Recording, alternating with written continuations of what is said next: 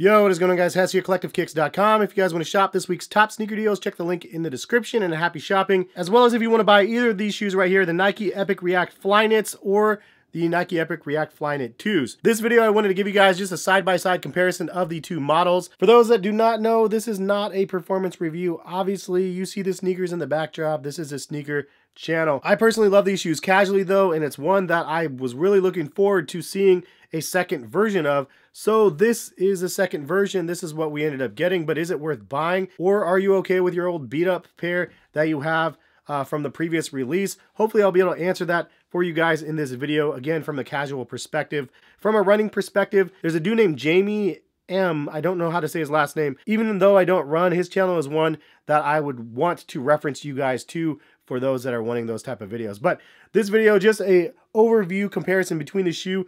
This video hopefully will be short and sweet because honestly, there is not too much to compare. There's really only a few upgrades to this shoe that are worth even noting and they're not really upgrades. For the most part, it's just the same shoe that is recycled. And I mentioned this in the past, but I'll mention it again here in this video.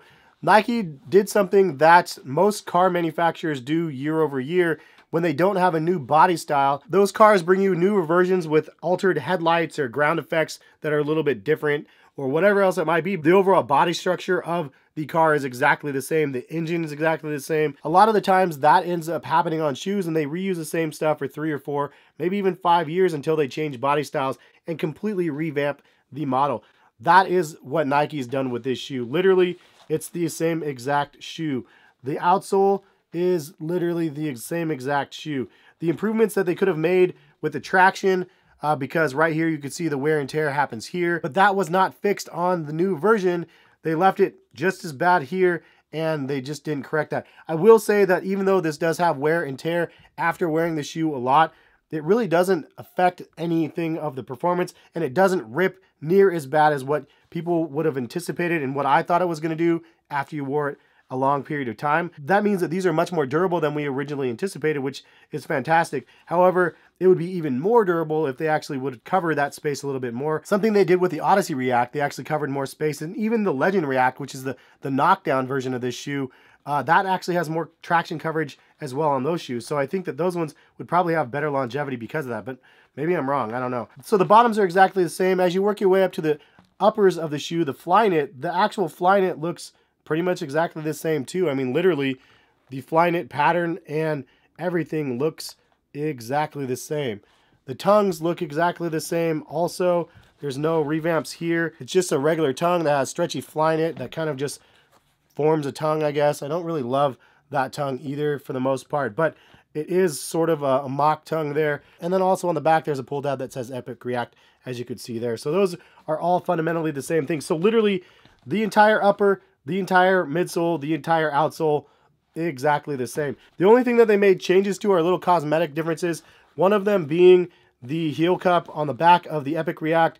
There was some reinforcement here that went up and around, up like this.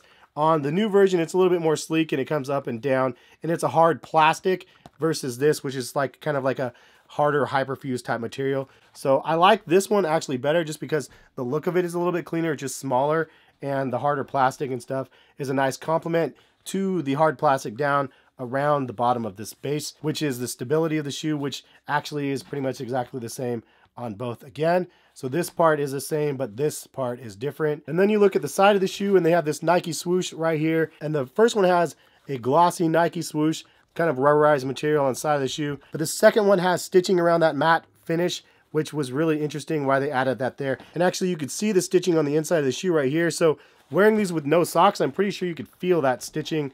I mean, I could feel it right here when I touch it. So it just seems like an odd idea to add that in. They had that also on the inside of the shoe, so they added it to both sides. The only other change that I see on these two shoes is a lockdown. On the second version, there's two different sets where the laces go through versus the first one, there's just one uh, piece of material that goes down. Same sort of uniform look with the 4 and the 4, but the second version is separated um, as you could see. So as a recap, the only three differences I could see between these shoes, the heel counter construction here, the Nike swoosh is here, and the split here between the lace holes. And everything else looks pretty much exactly the same. So why on earth would you spend 150 on this shoe when you can get this one for only like $90. I've seen these on sale for like $75 on the lower end. And I'll link some places in the description where you can buy these for at least $90 for good colorways. Black the blackout colorway is like 90 bucks. Like there's so many dope colorways of this shoe. It's such an amazingly comfortable shoe for that price point, especially. Why would you spend 150 for this with no revamped like differences? Honestly, this feels like a B grade to this shoe. Like the the first version is so much better than the second one. There's just no reason why you would have to buy this. So if you had an old beat up pair like I do, this one, I absolutely would not spend 150 like I did for this video.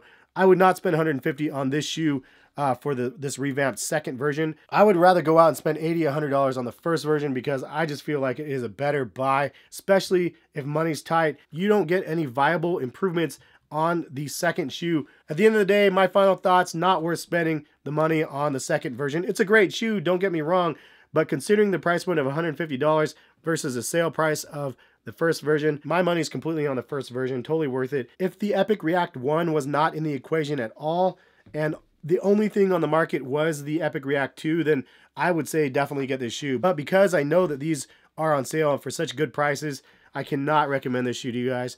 Uh, stick to this one if you haven't tried it. And if you haven't tried either of these, I definitely recommend this shoe to you guys. I think it is worth trying. It is a little bit snug like in this section for me. Again, I have wider feet, um, so this section is a little bit snug. But I've gotten used to the shoe quite a bit. Wore these uh, to Disney World like the entire trip, and they were just rock solid. Love these shoes. Uh, but anyway, that is my uh, comparison between the first and the second version from a casual perspective. Leave some comments in the comment section if you guys agree or disagree. Leave some comments on other differences that you might have seen between these shoes that I didn't point out, that I just couldn't literally see. Uh, but uh, but that is what we have for this video. Subscribe to the channel if you are new and you guys like the content. And if you guys did like the content, if you can, hit the thumbs up. It is much appreciated. Have a great rest of the day, and we will catch you guys for some more sneaker-related videos very soon. Peace, guys.